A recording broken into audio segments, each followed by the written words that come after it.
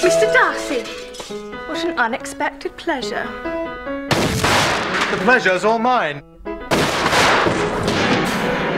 Would you care for some tea? Oh, how very kind.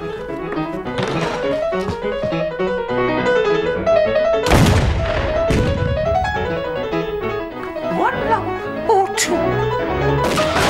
Three, actually.